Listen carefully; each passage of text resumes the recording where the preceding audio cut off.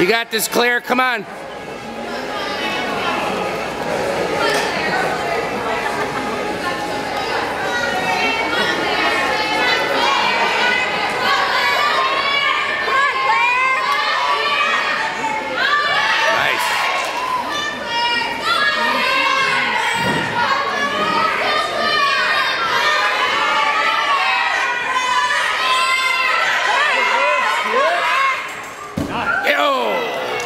Sorry.